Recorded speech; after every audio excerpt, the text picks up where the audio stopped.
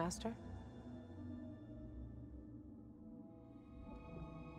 didn't expect to see you so soon.